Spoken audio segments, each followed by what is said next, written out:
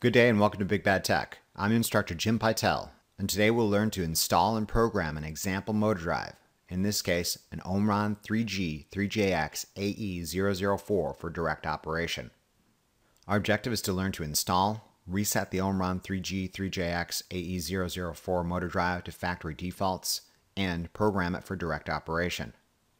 This lecture is predicated on the assumption that viewers watch both the introduction of motor drives and example motor drive Omron 3G 3JX AE004 lectures, both available at the Big Bad Tech channel. If you haven't watched these lectures yet or only dimly recall their contents, please take the time to do so now. Additionally, since we're dealing with this particular manufacturer's parameter programming process and navigation within it, it may help to download the associated datasheet and or user manual. First, we need to install the Omron 3G 3JX AE004 motor drive. As indicated in the standard connection diagram, we need to include a circuit breaker as a disconnection means between it and the power supply. The T1, T2, and T3 output of the circuit breaker go into the L1, L2, and L3 primary inputs of the motor drive. The black, red, and blue wires serve this purpose. Additionally, note the motor drive has been grounded using the green wire. Note the T1, T2, and T3 primary output of the motor drive go into the L1, L2, and L3 primary inputs of the motor. The black, red, and blue wires serve this purpose. For direct manual operation, this is really all we need to do right now. When we power on the device, note the display lights up, as do several indicator LEDs. Assuming we're powering the motor drive up from factory default conditions with no errors, you should notice the following. The data display is displaying the output frequency monitor. As can be expected, we're observing 0 Hz. Note the Hertz LED is lit up to accompany the numerical data displayed on the data display with the appropriate units of frequency. Note the amp unit LED is dark. The power LED is lit up, indicating that the motor drive is powered up. The alarm LED is dark, indicating the motor drive is not experiencing an error. If there was an error, an associated error code would be displayed on the data display. An example would be error E014. Error E014, according to the user's manual, means a ground fault trip. This is a non-resettable error that requires a technician shutting off the power and checking the wiring. The run LED is dark, indicating that the motor drive is not actively accelerating, running, or decelerating a motor. The program LED is dark, indicating that the parameters of the motor drive are not being actively programmed or changed. All seems well. Let's program this drive for direct manual operation.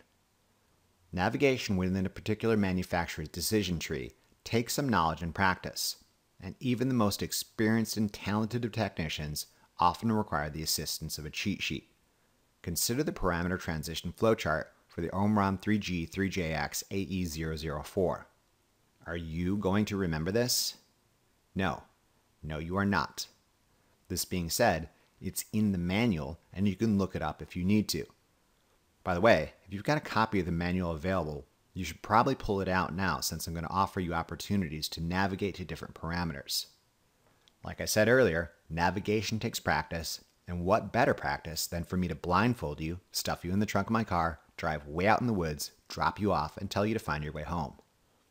This particular drive has a huge list of parameters listed in the manual, which I divide into several different classes, namely monitor or display functions preceded by a D, basic functions preceded by an F, extended functions preceded by an A, protection and initialization functions preceded by a B, communication functions preceded by a C, and motor settings preceded by an H. One could use the tangled web of the parameter transition flowchart, or navigate by brute force by using the increment and decrement keys through this boundless sea of parameters. However, neither of these seem attractive options.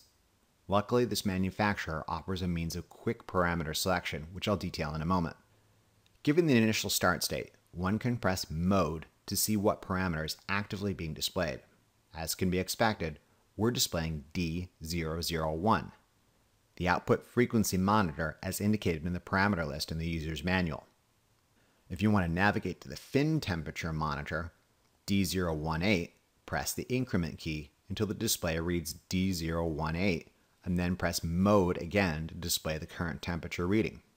Neat, huh? Not only is this an inexpensive motor drive, it's a really expensive thermometer. Press the mode key again to return to the parameters list. Alright, here's your first challenge. Use the parameters list in the user's manual to find the monitor or display function that monitors the voltage of the DC link. Hint, it's not too far away and you could probably use the brute force method to navigate using the increment and decrement keys. To navigate to parameter entries further than a dozen or so clicks away, luckily this manufacturer offers a means of quick parameter selection. To quickly navigate to a distant parameter, press both increment and decrement keys simultaneously.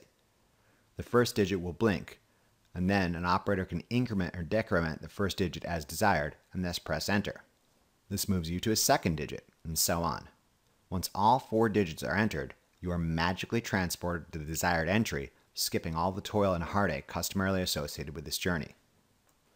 Let's use the quick parameter selection method to navigate to the initialization and protection parameter B084.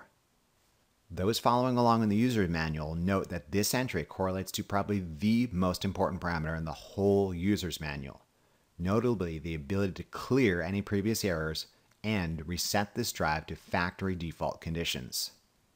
On the odd chance someone, i.e. your lazy lab partner, has totally dorked up your motor drive, the B084 parameter will allow you to forget this chapter of your life and begin anew. Never forget how to reset a motor drive to its factory default condition. You never know what is being handed to you. The factory default at least allows you a known starting condition.